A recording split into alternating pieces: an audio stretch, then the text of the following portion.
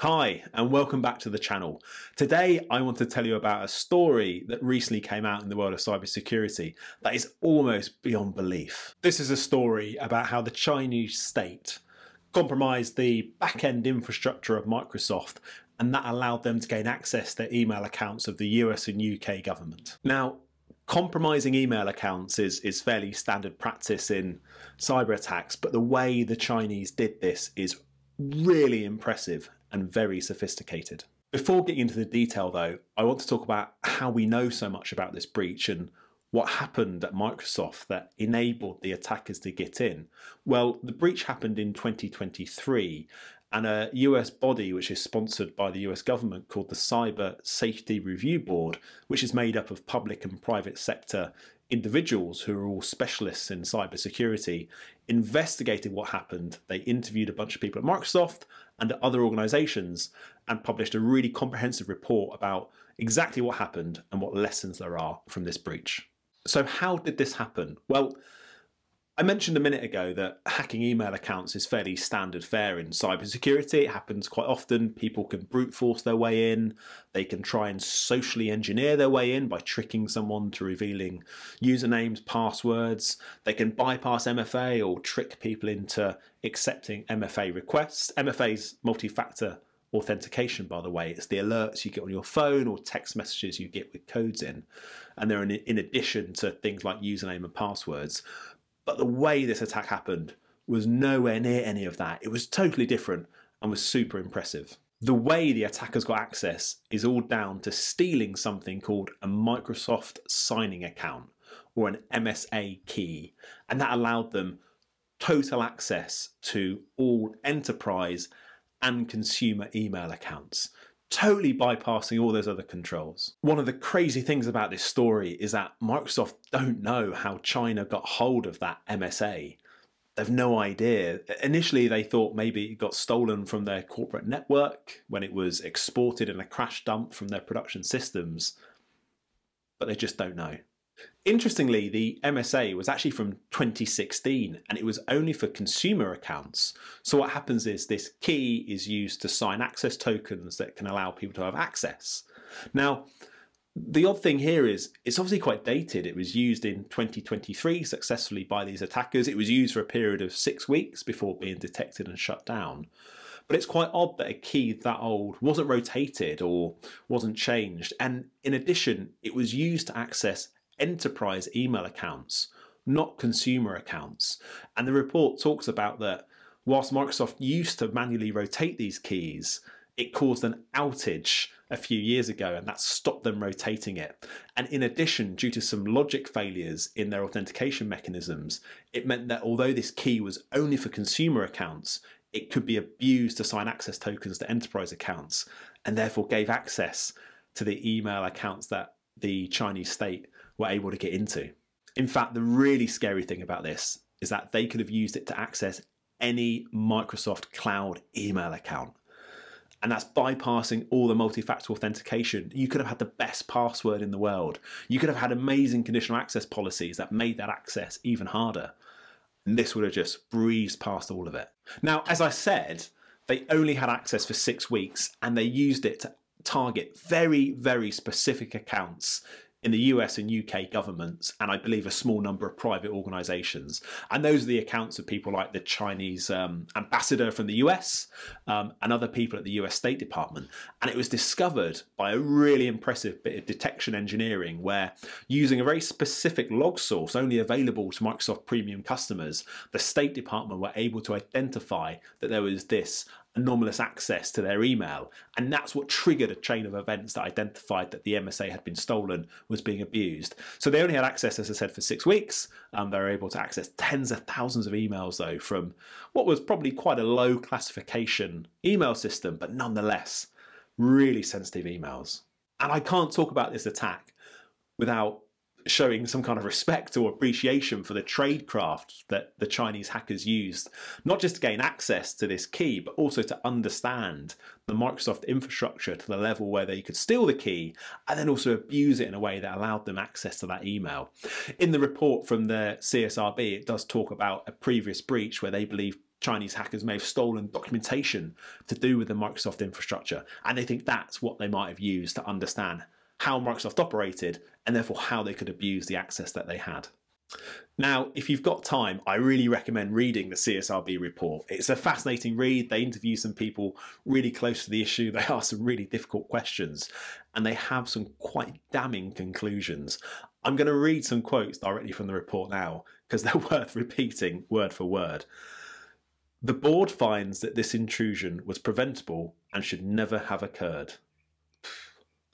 The board also concludes that Microsoft's security culture was inadequate and requires an overhaul.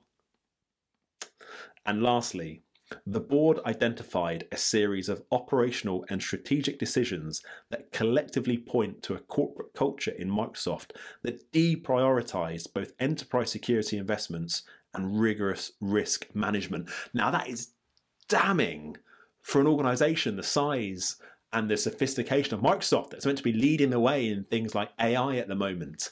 And they can't even do infrastructure security properly. And they sit, and the report talks about this, they sit so central in our technology ecosystem. They've got so many customers, they're a huge organization, and they got this wrong it's really good that folks like the CSRB exist and we get this kind of public analysis or or public scrutiny of organizations like this. And I really hope that it leads to change for Microsoft.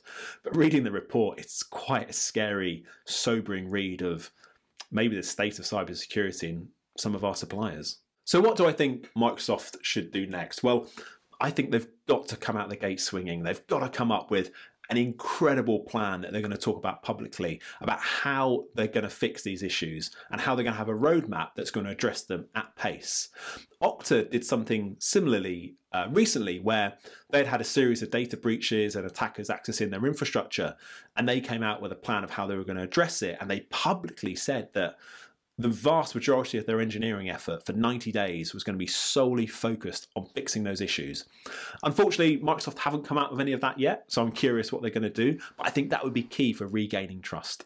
I think another area Microsoft need to look at is how they charge a security tax. Now, you might not be familiar with Microsoft licensing. I personally find it quite complicated sometimes of which, which features sit in which license tier, which you can legitimately have access to, and what can they all do. But fundamentally, for their best security, you pay quite a premium. And sometimes you're paying that premium to secure insecurities that they've built themselves or features that aren't fully formed that you then have to go above and beyond to make secure. I find that quite frustrating. And I think Microsoft could have a massive win here by making more of that accessible to their customers.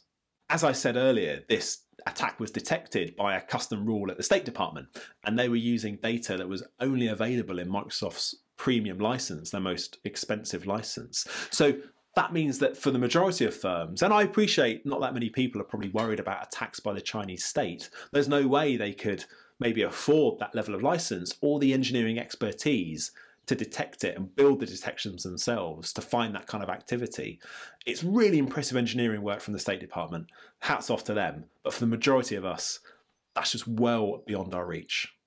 And indeed, it sits a bit uncomfortably that a data breach of the Microsoft backend infrastructure was discovered by one of their customers and not them themselves. So, as always, I want to talk about what the blue team lessons here. What can we, as, as mere mortal blue teamers, take away from this and learn from it? Well, I think one of the first things is transparency during a breach. The report highlights that some of the information Microsoft shared at the time was later identified to be wrong, but they didn't update that for a very, very long time. And when they did, they did it very silently, very quietly, not to uh, attract too much attention. I think, again, that just erodes trust. So, if you're dealing with a data breach and you're communicating publicly, I think transparency is super key. In addition to that, if we do have security incidents and they're public or they impact some of our customers or we have to do something about it, it's really, really important to spring back quickly, have that plan, and start remediating the problems that caused the data breach or the security incident in the first place. There's nothing worse than hearing about somebody having a data breach than there just being an apology and then a void of information. It almost sounds like they don't take it seriously or they're not doing anything about it. So that ability to turn around quickly, come back with a plan, address those deficiencies, helps again rebuild trust and make people happy. Another one I took away from the Microsoft breach, and indeed was similar in the Office of Personnel Management video that I did recently, is the need to protect internal information. Now, most firms I've worked in are really good at sharing internally. So we have a SharePoint or a wiki or whatever it may be. It's open, people can view stuff, infrastructure documents, design documents, all this good stuff that's really key to operating this infrastructure is available to a lot of people. That causes problems. The problem being that obviously an attacker wants to get their hands on that. They want to steal that. They want to learn about how an organization operates, what's the network look like, what's the infrastructure do. And in this case, because it got stolen, we think it was used to uh, facilitate this attack. So protect infrastructure documentation well. And then finally, I think the, the only other blue team lesson from this attack is how we use email. Now, this is a really interesting one because we do lots of smart stuff with things like multi-factor authentication, password strength, potentially conditional access as well, if you're familiar with it, to protect those email accounts. But often, and, I think lots of us are guilty of this, email ends up being used just as a data repository, a store. There's lots of sensitive information in there. There's been some breaches recently where it's been highlighted within email accounts where passwords, other credentials, SSH keys, all just sitting there. That means if that account gets compromised, all that data is lost. And I know lots of folks who, if they're doing hiring, their inbox is also full of personal data like CVs, scans of passports, and it's quite irregular that folks go back through and remove that data. So I think there's an education piece for our users to not use email just as a dumping ground for data. And when we're done with email or we're done with the data within the emails, to remove it. A great example is using sharing links instead of attachments that's a good idea. Of course, if a cloud account is compromised, it's probably compromised enough that it could also be used to view the data behind those links. But it's another barrier for those attackers to get to. So that's all for today. I wanted to keep this video quite short. There's loads of detail in the CSRB report. I really recommend if you found this interesting, I'll leave a link to it in the description. You go back and read this. It is a fascinating um, summary of what infrastructure looks like and security looks like for a massive cloud service provider and the lessons we can learn from it. I'll see you next time.